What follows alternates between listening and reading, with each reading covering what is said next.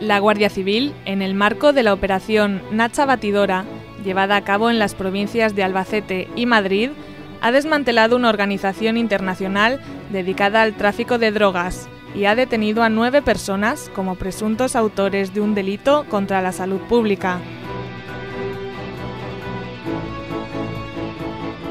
Las investigaciones, iniciadas en enero del pasado año, implicaban a los detenidos en una red de tráfico de drogas que utilizaba nuestro país como puente entre México e Italia. La droga se distribuía principalmente en Albacete y Madrid, derivándose igualmente hacia otros países europeos.